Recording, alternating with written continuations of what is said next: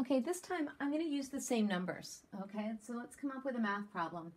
I've got a couple of dogs, and um, let's say I've got 71 pounds of dog food at my house. That's a lot of dog food. And my couple of dogs eat four pounds of dog food each day.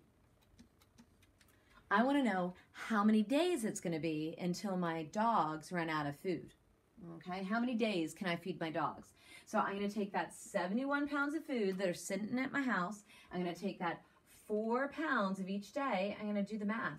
And look, I end up, it's the exact same math problem I just did.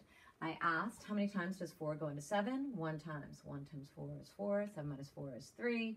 Bring down the 1. 4 goes into 31 7 times. 7 times 4 is 28. And then we subtract and we get 3. I can't have in 17 remainder 3 days. My um, There's not such a thing as a remainder 3 days. So how many days can I feed my dogs? Can I feed them 17 days or can I feed them 18 days? See, this time the correct answer is 17. I can feed them for 17 days, and then by the time it gets to evening, guess what? I'm going to be running out of food. So 18 would be the wrong answer in this case.